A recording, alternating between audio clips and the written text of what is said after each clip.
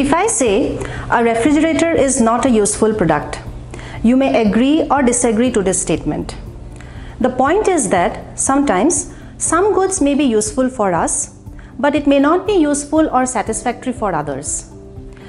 In this video, you will learn about the difference between usefulness and utility and see how mathematics may be used to understand the concept of utility in the theory of consumer behavior. In your day-to-day life, you buy a large number of goods. Some goods may be useful for you, while others may not be useful for you. What gives you satisfaction may not give satisfaction to others. For example, fruits and vegetables are healthy food for life and hence may be considered as useful for human beings. However, you must have observed that children generally stay away from fruits and vegetables. This means that they do not love to eat them and hence the satisfaction derived from them may be zero or very less for children. Now give a child some junk food. Junk food is considered unhealthy and it may therefore not be useful for human beings. But the satisfaction level derived from junk food may be very high, particularly for children and young people. Take another example. Industrialization is useful for development, but industrialization also leads to environmental degradation. If industrialization makes the environment unfit for survival, and the health of the people deteriorates, the utility level falls drastically. Thus, something may be considered useful but may not give satisfaction or utility. Economists have studied the consumer behavior extensively and proposed a couple of utility theories. Two very popular utility theories are the cardinal utility theory and the ordinal utility theory. The cardinal utility theory is based on cardinal numbers and was proposed by neoclassical economists. Neoclassical economists started studying the concept of consumer behavior and the economy by using mathematical equations.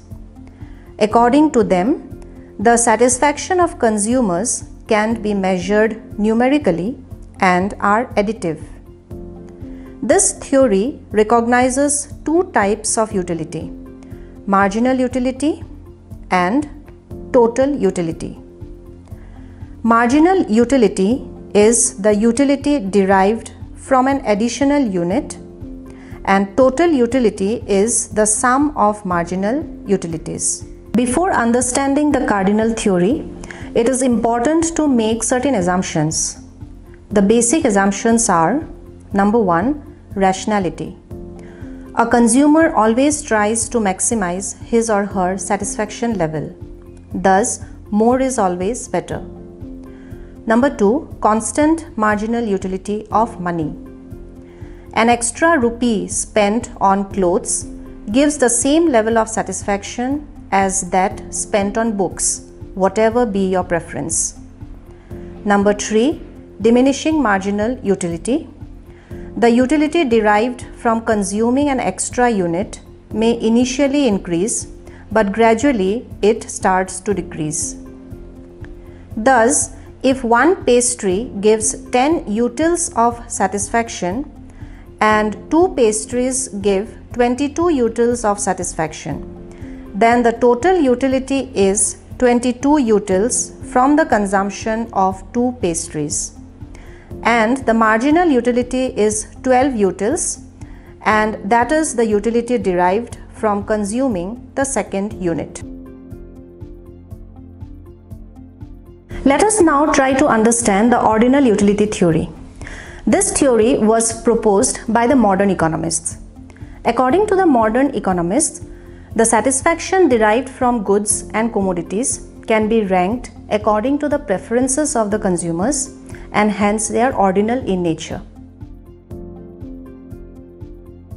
The basic assumptions of the ordinal utility theory are Number 1. Rationality. Just like the cardinal utility theory, The consumer is assumed to have knowledge about the market and tries to maximize his or her satisfaction. Thus, more is always better. Number 2. Ordinal. Different bundles of goods are ranked according to the preference of the consumers. Measuring the satisfaction in terms of utils is not necessary. Number 3. Total utility is not additive and depends on the quantities of commodities and is not the sum of marginal utilities. Number 4. Diminishing marginal rate of substitution. The rate of substituting one good for the other decreases at an increasing rate as the consumption of the other good increases. Number 5. Transitivity. Given three bundles A, B and C, if a consumer prefers a bundle A to bundle B and prefers bundle B to another bundle C, then the consumer will have to prefer bundle A to bundle C. A consumer may also be indifferent between any two or more bundles. Given these assumptions, the ordinal utility theory is based on preferences of consumers. The higher the preference, the higher is the utility. Take another example. Nowadays, there are a large number of social media sites. Facebook, Twitter, Google, Pinterest are few of them. If you prefer Google Plus to Twitter, you derive higher satisfaction or utility from Google Plus than from Twitter. Similarly, if you prefer Facebook to Google Plus, you derive higher utility from Facebook than from Google Higher the preference, higher will be the utility. You need not give any numerical value in terms of utils to show your satisfaction. Thus, there exists a relationship between utility of consumers and the goods consumed or used by the consumers. This relationship may be represented as a function. If U is the total utility derived from using Facebook and Twitter, and X be the hours spent on Facebook and Y be the hours spent on Twitter in a day.